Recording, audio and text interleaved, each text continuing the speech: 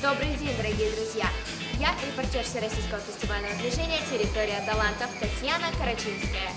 И я буду держать вас в курсе событий Международного хореографического лагеря Dance Creative.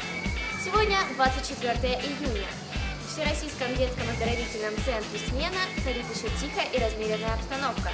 Но что же будет завтра, когда сюда приедут самые творческие, самые неординарные и самые яркие? Об этом точно сказать вам не могу, но я знаю одно – будет очень жарко.